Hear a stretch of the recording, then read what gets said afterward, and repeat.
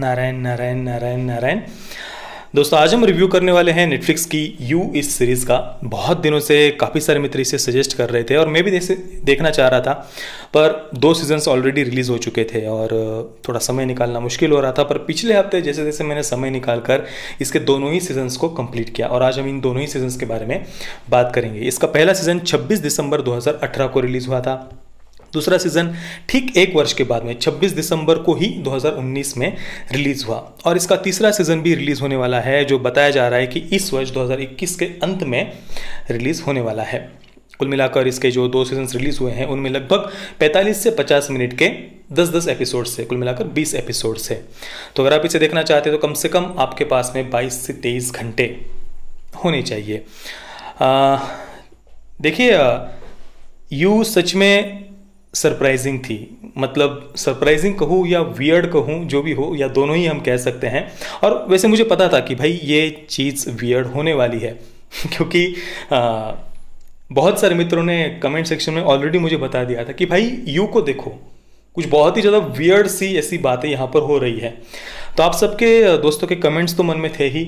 तो मैंने मन बनाकर ही रखा था कि भाई कुछ वियर्ड सा मैं देखने के लिए चाह रहा हूँ। कुछ भी अंदाज़ा नहीं था, मैंने ट्रेलर भी नहीं देखा था। और मैं सच कहता हूँ, मैंने जितना सोचा था, उससे उससे ज़्यादा वियर्ड और सरप्राइजिंग ये सीरीज़ निकली। मतलब भले ही ये सीरीज़ हमसे क्या कहने का प्रयास करती है, उससे आप एग्री करो, करे या ना करे, पर फिर भी ये सीरीज़ एंगेजिंग है, इसमें कोई संदेह नहीं।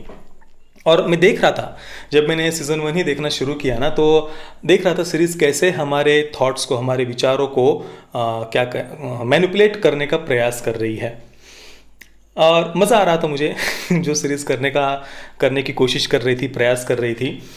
हालाँकि मैनिपुलेट तो नहीं कर पाई पर बहुत ही बढ़िया कोशिश थी उनकी बहुत बढ़िया प्रयास था हमारे थॉट्स को मैनिपुलेट करने का ये इसमें कोई संदेह नहीं है।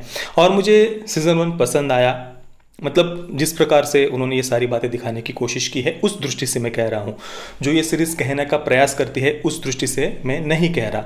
तो मुझे सीज़न वन पसंद आया और उसके बाद मैं तुरंत सीज़न टू भी देखने के लिए बैठ गया और एक के बाद एक मैंने दोनों ही सीजन्स कंप्लीट कर दिए थे।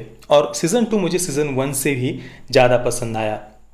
मतलब आ, हर प्रकार से हर दृष्टि से सीज़न टू सीज़न वन से बेटर था। सबसे बड़ी बात सीज़न टू की ये थी अच्छी बात कि वो अनप्रिडिक्टेबल था बिल्कुल। क्योंकि सीज़न वन को अगर हम देखें ना तो वो काफ़ी हद तक प्रिडिक्टेबल था।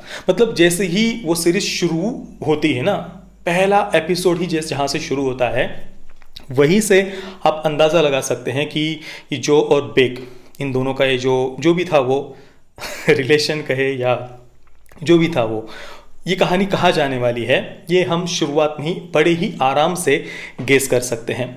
और जो फिर सीज़न वन के एंडिंग में होता है, वो उतना सरप्राइजिंग नहीं था, पर फिर भी जिस प्रकार से उन्होंने इस पूरी जर्नी को उनकी दिखाया है, इसके अलावा जो को जिस प्रकार से उन्होंने प्रेजेंट किया है, जो कि थॉट्स जो के अंदर हम जिस प्रकार से झाँक कर देख पाते हैं कि भाई, वो क्या सोच रहा है?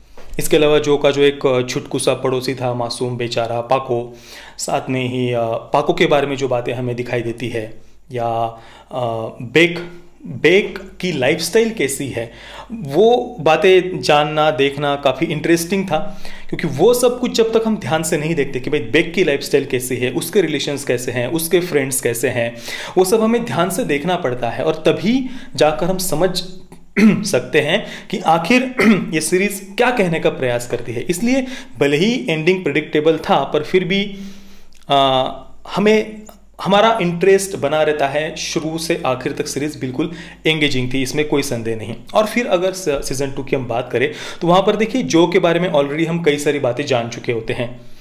पर फिर भी आ, बहुत कुछ वहाँ पर नया हो रहा है। पूरी तरीके से जो कि एक नई लाइफ वो वहाँ पर शुरू करने के लिए गया है। न्यूयॉर्क से लॉस एंजलिस वहाँ जाने के बाद आ, उसका नया जीवन नए पड़ोसी नया काम और एक न, एक अमीर लड़की लव क्वीन नाम की उसके जीवन में आती है। जो बिल्कुल ही मतलब सोचा नहीं था जिस प्रकार से वो उसके जीवन में एंट्री करती है ऐसा कुछ होगा। आ, तो वो एक इंटरेस्टिंग पार्ट था शुरुआत से ही लव क्वीन का कैरेक्टर साथ में ही कैंडिस उसके पीछे पड़ी हुई है। तो बहुत सारी ऐसी बातें शुरुआत में ही उन्होंने दिखा दी है। और उस दृष्टि से हम देखें तो सीज़न टू की कहानी कहीं पर भी जा सकती थी। कहीं पर भी वो लेकर जा सकते थे उस कहानी को। इसलिए सीज़न टू बिल्कुल ही अनप्रिडिक्टेबल था। और भाई, उसकी जो एंडिंग थी सीज़न टू की, वो तो पूछिए ही मत। वो तो मुझे एक बहुत बड़ा सरप्राइज़ था। मैं सच कहता हूँ, मैंने इमेजिन नहीं किया था। कि ऐसा कुछ होगा। परफॉर्मेंसेस की बात करें तो सीरीज़ की सबसे बढ़िया बात मुझे इसकी कास्टिंग ही लगी। जैसे देखिए जो गोल्डबर्ग के कैरेक्टर के लिए जैसी पर्सनैलिटी चाहिए, वो पेन बेजली पर बिल्कुल परफेक्टली सूट करती है। इसके अलावा बेग की बात करें तो क्या कहूँ मैं उस कैरेक्टर के लिए? थोड़ा सा भुंदू, बुद्धू या फेल्ड पोएट मतलब जैसी पर्सनैलिटी बेग के कैरेक्टर के लिए चाहिए थी, वो एलिजाबेथ लेल के पास में थी। और बाकी भी जितने भी कैरेक्टर्स थे, जैसे कि लव क्वीन का कैरेक्टर सेकंड सीज़न में काफ़ी इंटरेस्टिंग था दलाइला एली उसकी छोटी बहन पीच सैलेंजर पहले सीज़न में जो कैरेक्टर था, सभी, इन इन सभी कैरेक्टर्स को जिन रिस्पेक्टिव एक्टर्स ने प्ले किया है, सभी के परफॉर्मेंसेस बढ़िया थे कास्टिंग भी मुझे सभी की पसंद आई। पर देखिए, ये एक ऐसी सीरीज़ है जिसको लेकर अलग अलग लोगों के अलग अलग ओपिनियन हो सकते हैं। किसी किसी को ये सीरीज़ बहुत ज़्यादा पसंद आ सकती है तो कुछ लोग इस सीरीज़ को अंदर से हेट कर सकते हैं। क्योंकि इसके जो दो लीड कैरेक्टर्स है जो गोल्डबर्ग और ग्वेनिवर बेक इन दोनों ही कैरेक्टर्स से कुछ लोग अंदर से हेट कर सकते हैं। क्योंकि वो है ही उस प्रकार के कैरेक्टर्स तब मैं यहाँ पर कुछ भी बताने नहीं वाला हूँ, क्योंकि मुझे इन दोनों ही कैरेक्टर्स के बारे में बहुत सारी बातें कहनी है। पर उसके लिए मैं अलग से इसकी फ़िलोसॉफ़ी वाला वीडियो अपलोड करने वाला हूँ हमारे प्रतीक फ़िल्म थियरी चैनल पर। उसको आप सब्सक्राइब ज़रूर करिए। और जल्द ही ये वीडियो आप जब तक देख रहे होंगे, तब तक मैं वो फ़िलोसॉफ़ी वाला वीडियो भी ज़रूर अपलोड कर दूँगा। तो हाँ कुछ कुछ लोगों को थोड़ा सा कंफ्यूजिंग ये सीरीज़ लग सकती है कि भाई, आखिर ये कहने का प्रयास क्या करती है? जो गोल्डबर्ग के बारे में ग्वेनिवर बेग के बारे में, क्या क्या उद्देश्य है इस सीरीज़ का?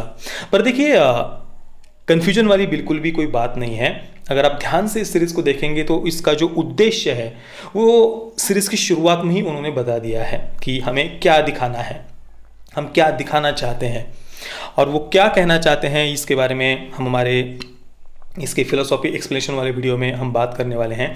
बाकी एक बात है कि इस सीरीज़ को उन्होंने, उन्हें किस कंक्लूजन पर लेकर के जाना है, इसको लेकर इसके जितने भी इसके जो भी मेकर्स है इस सीरीज़ के वो बिल्कुल क्लियर थे, इसमें कोई संदेह नहीं। और बिल्कुल उसी प्रकार से उन्होंने इन कैरेक्टर्स को, कहानी को आगे उन्होंने बढ़ाया है डेवलप किया है।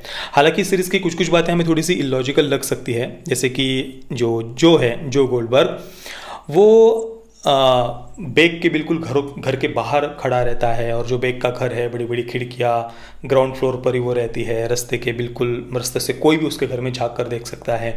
और उसके साथ में ही वो जिस क्लब में वगैरह जाती है, वहाँ पर भी वो उसके उसके इर्द गिर्द ही रहता है जो। पर फिर भी बेग को कभी भी संशय नहीं होता, वो उसको देख नहीं पाती। ये बातें थोड़ी सी हमें ऑड लगती है। इसके अलावा कुछ कुछ बातों को कुछ ज़्यादा ही एग्जेजरेट उन्होंने कर दिया है। पर देखिए, इस सीरीज़ की थीम ही उस प्रकार की है। जो बातें उन्हें बतानी है या जो मैसेज उन्हें उन्हें इसके थ्रू देना है, उसके लिए वो आवश्यक था। जो उन्होंने कुछ कुछ बातों को कुछ ज़्यादा ही बढ़ा चढ़ा कर दिखाया है एग्जेजरेट किया है, वो आवश्यक भी था। तो इन सारी बातों के बारे में हम बात करने वाले हैं हमारे फिलोसॉफी एक्सप्लेनेशन वाले वीडियो में। मैं यू के फ़र्स्ट सीज़न को दूँगा 7.5 आउट ऑफ़ 10 स्टार्स और सेकंड सीज़न को मैं दूँगा 8.5 out of 10 stars parental guidance की कोई भी आवश्यकता नहीं है सीरीज़ में कुछ सेमिन्यूड सीन्स है और थीम भी अडल्ट ही है इसकी। वायलेंस वगैरह है तो परिवार के साथ में देखने जैसे तो ये चीज़ बिल्कुल भी नहीं है, बच्चों के लिए बिल्कुल भी नहीं है। बाकी आपने अगर इस सीरीज़ को देखा है तो आपका एक्सपीरियंस कैसा रहा, मुझे आप नीचे कमेंट में ज़रूर बताइए। और हमारा फिलोसॉफी एक्सप्लेनेशन वाला इसका वीडियो आप ज़रूर ज़रूर देखिए। जय श्री राम, वंदे मातरम।